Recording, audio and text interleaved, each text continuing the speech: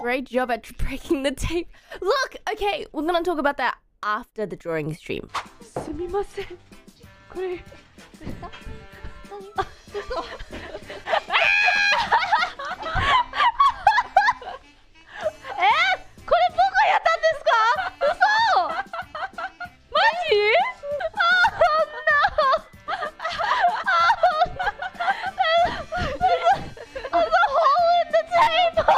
I'm never gonna live that down. Look, I, I'm, I just, I cannot believe. Uh, I cannot believe that that happened. Like I actually can't. What did you use to smash the table with? I, I was. Okay, you know what it is? I put the candy. It was.